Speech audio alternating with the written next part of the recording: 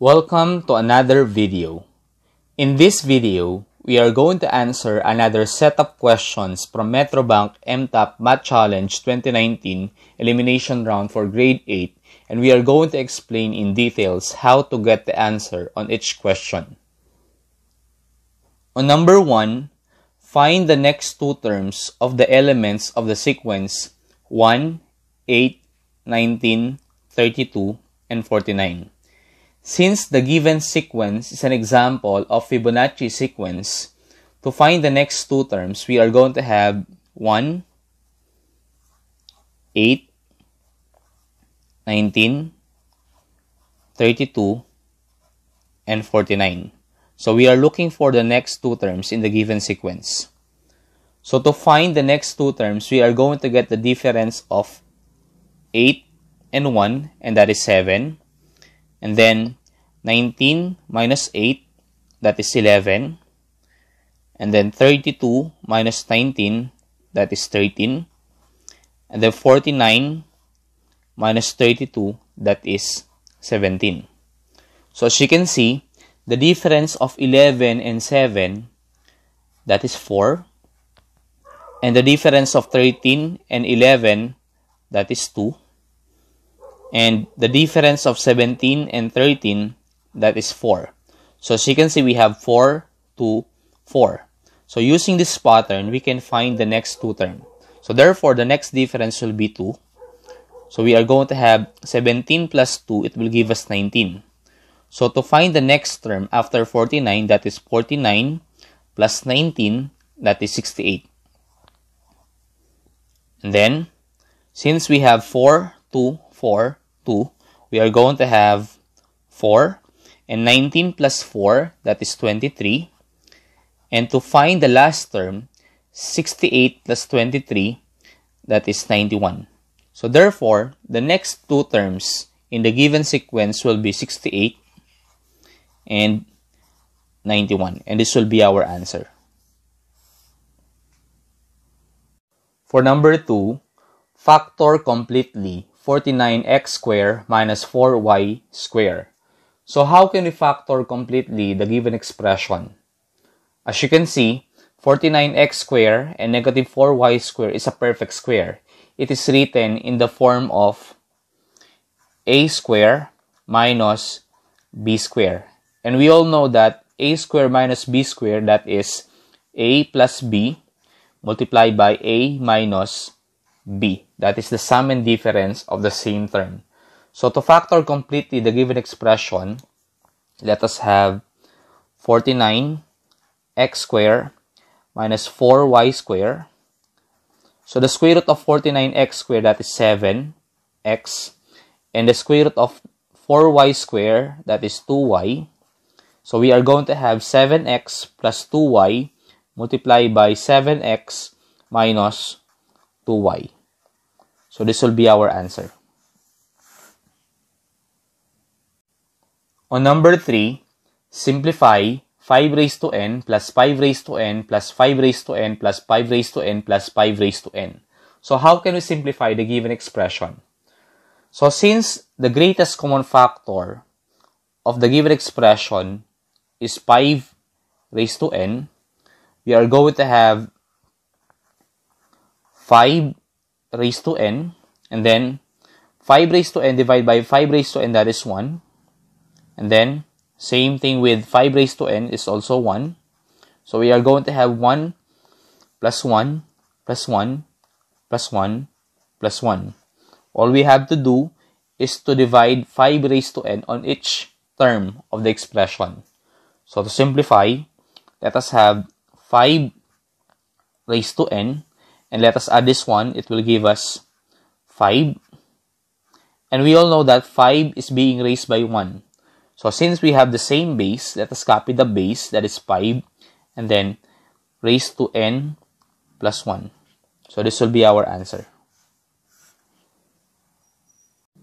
For number 4, write the lowest term without 0 or negative exponents of a raised to 2p plus 3 multiplied by b raised to p plus 5 all over a raised to 2p minus 3 multiplied by b raised to p minus 1.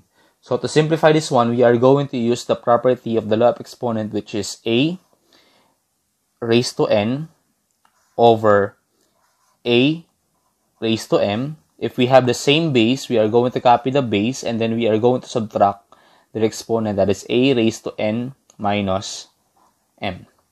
So to simplify, we are going to have a as the base raised to 2p plus 3 minus 2p minus 3 multiplied by b raised to p plus 5 minus p minus 1.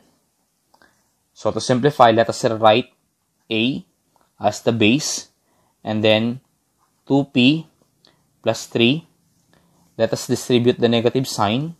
That is negative 2p plus 3. And then we are going to have b raised to p plus 5. Let us distribute the negative sign minus p plus 1. So to simplify, let us have a as the base. Let us cancel 2p and let's add 3 plus 3 that is 6 multiplied by b let us cancel p. 5 plus 1 that is 6 so therefore our final answer is a raised to 6 b raised to 6 and this will be our answer. On number 5 reduce to lowest term the expression 2x squared plus 3x plus 1 all over the quantity of 2x plus 3 multiplied by the quantity of x plus 1. So to simplify the given expression, we need to factor the numerator, and that is 2x squared plus 3x plus 1. If we are going to factor this one, we are going to have 2x plus 1 multiplied by x plus 1. If you are going to multiply this one, you are going to have 2x squared plus 3x plus 1. So let us have 2x plus 1 multiplied by x plus 1 over 2x plus 3 multiplied by x plus 1. So we are going to cancel x plus 1. So therefore, we are we have 2x plus 1 over 2x plus 3. And this will be our answer. On number 6, perform the indicated operation and simplify x cubed over x squared minus x minus 2 multiplied by x squared plus x minus 6 all over x squared plus 3x. So as you can see, the given operation is multiplication. And whenever we multiply fraction, we are going to have a over b multiplied by c over d. It will give us ac over bd. We are going to multiply numerator to numerator and denominator to denominator.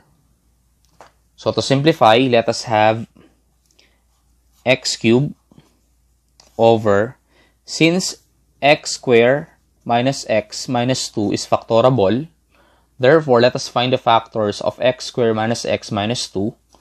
So the factors of x squared, that is x and x, and what are the two numbers? If we multiply, we can get negative 2. And if we add, we can get negative 1. And that is negative 2 and positive 1. So let us have here x minus 2 times x plus 1 multiplied by x squared plus x minus 6. So we have x squared plus x minus 6. So let us find the factors of this expression. So the factors of x squared, that is x and x. And what are the two numbers? If we multiply, we can get negative 6. And if we add, we can get positive 1. And that is positive 3 and negative 2. So let us have x plus 3 multiplied by x minus 2. And also, x squared plus 3x is also factorable. So the greatest common factor of x squared and 3x, that is x. And then x squared divided by x, that is x. And then 3x divided by x, that is 3. So therefore, let us write x times x plus 3. So let us simplify. Let us multiply numerator to numerator, denominator to denominator. Let us just write everything on the numerator and denominator. Let's have x cubed multiplied by x plus 3 times x minus 2 all over x minus 2 x plus 1 times x multiplied by x plus 3. So we can cancel x plus 3 and x minus 2 and also x and x cube. So x become 1 and x cube becomes x square. So therefore, our final answer will be x square over x plus 1. And this should be our answer. On number 7, the conversion formula from Celsius to Fahrenheit is Fahrenheit equals 9 over 5 Celsius plus 32. Solve the equation for C. So the fastest way to answer this question, if you memorize the formula for Celsius, you just write the formula for Celsius and that will be the answer.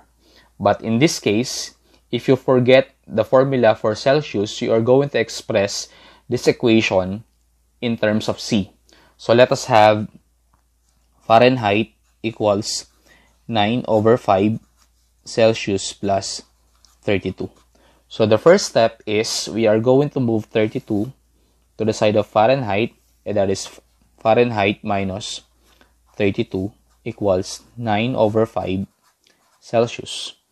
And to eliminate a denominator, let us multiply the whole equation by 5.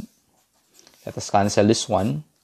And then it will give us 5 times Fahrenheit minus 32 equals 9 Celsius.